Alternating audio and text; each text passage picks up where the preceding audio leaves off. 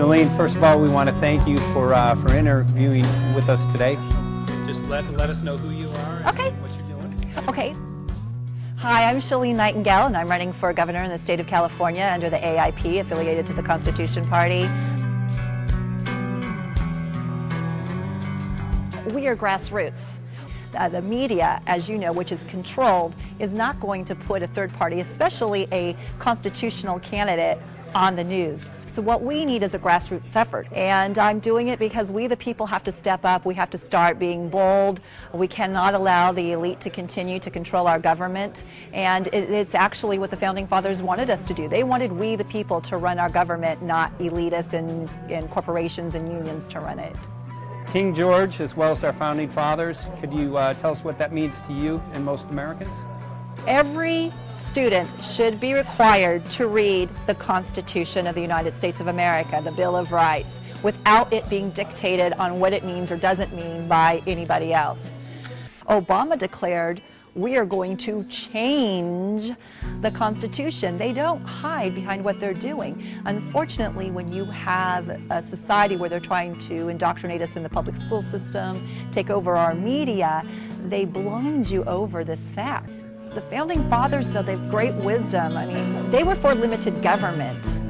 They were for they were for against everything that we've become now. So it's very important that people find out what they believed in because it gives us great wisdom on how we can get back to what they fought and how they fought tyranny and overcame it. And Christians, it's our responsibility to go out and look for true teachers, not false teachers. And, you know, really that was what the founding fathers wanted. They didn't want government to take over religion. That's why they escaped King George.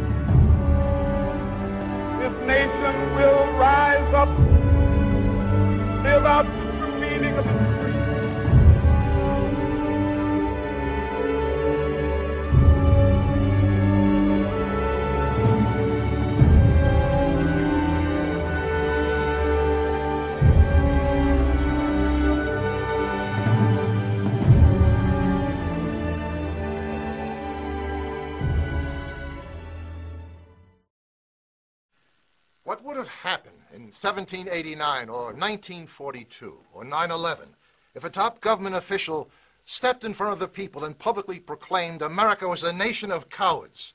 He would have been run out of the country on a rail, packaged in tar and feathered at least. But that's what happened in 2009, and you did nothing. Have you become a nation of cowards, America?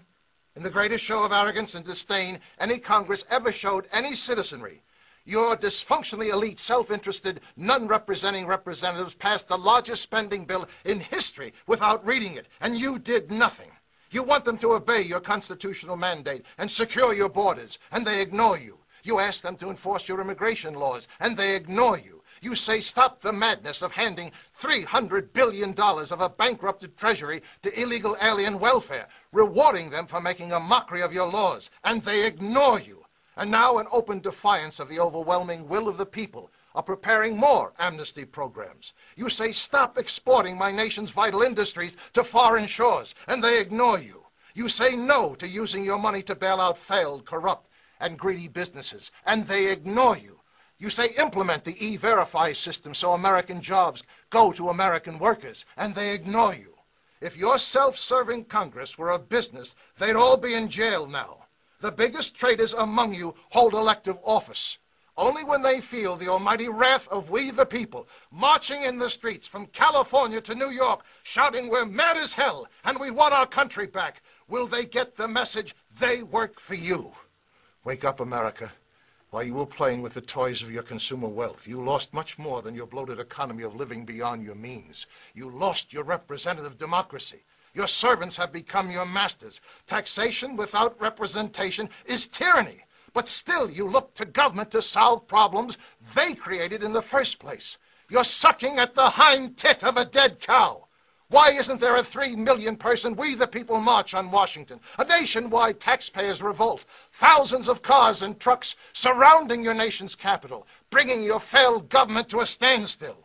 Democracy doesn't repress power, it unleashes it to we the people. Take it now. They dictated an economic salvation plan to you. Now it's time to stick it to them with a We the People stimulus package. Require all laws that apply to the rest of the country to equally apply to Congress. Start by first removing the elite privileges that place your non-representing representatives above you, not with you. Require all laws that apply to the rest of the country to equally apply to Congress. Repeal Congress's right to vote for their own raises. Balance the federal budget. Force your legislators to do what you now have to do. Live within your means. If you don't, you're committing national suicide.